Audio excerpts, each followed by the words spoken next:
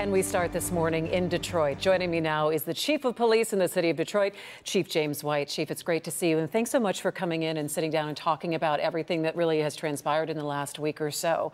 Um, I think when we, we see you out on, on scenes and on shooting scenes and you say, enough is enough, this has to stop. And I think looking at last weekend, what happened in Greektown and along the Riverwalk, um, in highly patrolled areas yes. already, what do you think has changed in the last year or so?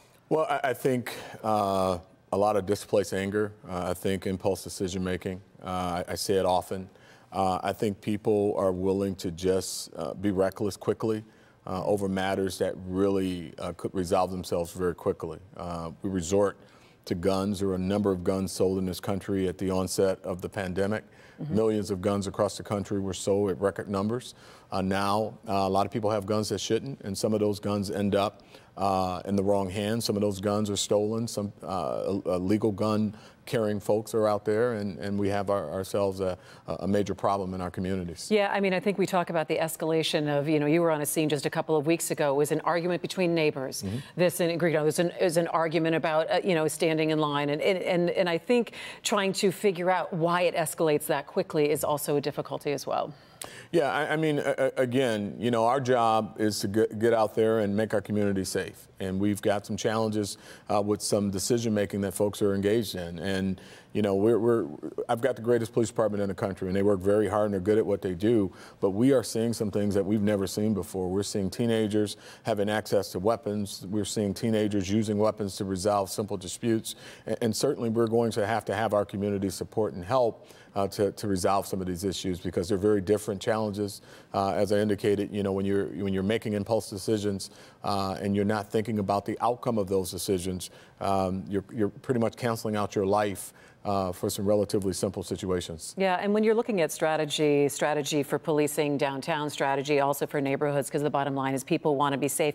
You just unveiled a, a new 12-point plan, uh, that, you know, later this week and coming off of the, the last weekend. I want to go through point by point and have sure. you explain why some of those things that you believe will, will make a difference. And, you know, the first one is that increased police presence, that you're changing the, the midsummer police deployment. Yeah. What does that mean actually for people? Yeah, so, you know, when we everything we do is informed by data and, and, strategy, and we look at what happened in the past and, and what we want our outcomes to be. Uh, so we have a spring deployment, and that's usually it rolls out uh, first warm weekend in April. Uh, it's what we did last year. Uh, those numbers are significantly different than the numbers we roll out midsummer, uh, and it's based on crowd size. Uh, what we did not anticipate was the crowd size. This was midsummer crowds in early Wait, April. In April, I know. In April, uh, and, and a lot more teenagers than we anticipated. And so we made a decision as a management team to immediately go to our midsummer deployment.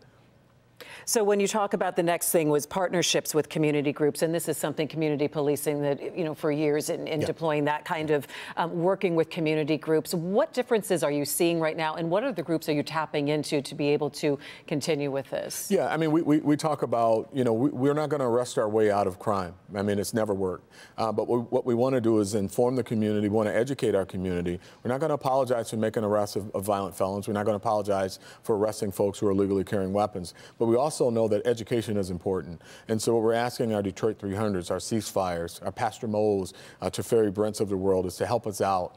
Um, we've got great, great partnerships. Uh, Mr. Daryl Woods and others that are out there on the ground with us, pounding the pavement and talking to our kids and talking to our, our members of our community. Uh, we want them to be empowered to deliver our message as well. So we're passing out information on curfew and other things.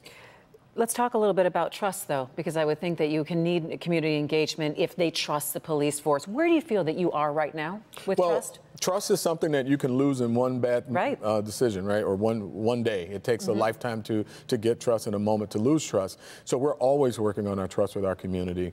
We're always working with our community ambassadors. We're always making sure that we run a transparent police department. Uh, we're not going to always get it right. We're going to try, but if we don't get it right, we're transparent and upfront about that. And I think that those are the things that build trust in a community. We hear about curfews all the time. Mm -hmm. What is the change in curfew now that you're going to say? There's really no change. It, I didn't implement a curfew this is a citywide curfew that's been in effect, right? Uh, under the age of, or 15 and under, it's 10 p.m. Is it more 17. enforcement It's then? going to be enforced. And, and, and again, we think it's important to keep our kids safe. I mean, the parents should know where their children are. Uh, we're going to get our curfew violators off the street, uh, and then and we're going to deal with the parents. If the parents don't know and they're allowing their kids to violate curfew, and we'll ask the question uh, and, and find out what they knew. And maybe they were at work and they didn't know. It wouldn't be fair to issue them a curfew, or I'm sorry, a parental responsibility uh, ticket. But if they did know and allowed their kids to, to violate curfew, we will in fact be taking enforcement action against those parents as well. Yeah, and talking about the enforcement, really, um, of um, also looking at alcohol and noise violations. But you also talk about road closures um, and, and the no Yeah. parking zone. Talk to us about that and what with the differences we might see. Yeah, you're going to see a lot. Um, so what we've done, we just walked a footprint a little while ago, and one of the things we're going to do is we've got a lot of vehicles, and we, we see this from our eagle eye looking at the cameras. The same car circling seven, eight, nine times. Uh, that person's going to have to park, and they're going to have to park legally uh, to to relieve some of that congestion in Greektown and some of the other more popular areas of the, the downtown footprint. Uh, that and also we see some problems that come from that. We see uh, some some some fights and things like that where people are running the cars and, and getting weapons. And, and so we want to make sure that you can enjoy the downtown safely, uh, park, you can cycle a few times, but seven, eight, nine times with your music blaring and, and revving your engine, we don't, we don't see the value in that. So we want people to legally park, uh, walk the footprint, and have a good time safely. Another thing you're talking about the Eagle Eye hotline that businesses can call in and make sure that they can get real time help if they notice that something is percolating and happening right in their business as well. But I wanted to also talk about um, the video wall monitors that the people are going to be seeing too. Yeah, we, we're going to be rolling those out soon.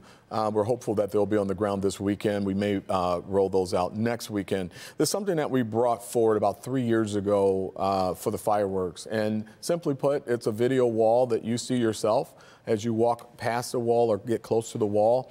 Uh, it just basically says, Welcome to Greektown or Welcome to Downtown or wherever we, we place it.